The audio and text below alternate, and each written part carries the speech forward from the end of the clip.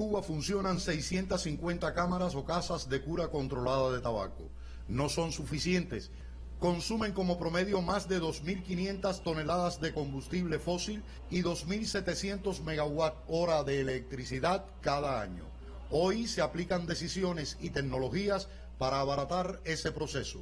Los cortes de libre pie, un nivel de un y medio y corona no van a ir a cura controlada.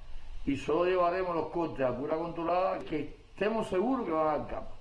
En la empresa Lázaro Peña de Artemisa, una de las tecnologías aplicadas parece de ciencia ficción. El polvo de madera que genera esta fábrica de envases del grupo Tabacuba se entrega en forma de briquetas que son usadas como biomasa para alimentar varias cámaras de cura y por esa vía ahorran un 75% de combustible fósil. No afecta la calidad de la curación. La curación sale en perfectas condiciones. Y la otra variante es que tenemos un equipo que está en prueba ahora donde el calentamiento del agua para calentar la casa se hace con energía solar. En el país hay más de 50 casas de cura controlada que utilizan la energía solar. Por esta vía se dejan de consumir 260 megawatts hora al año y 308 toneladas de diésel.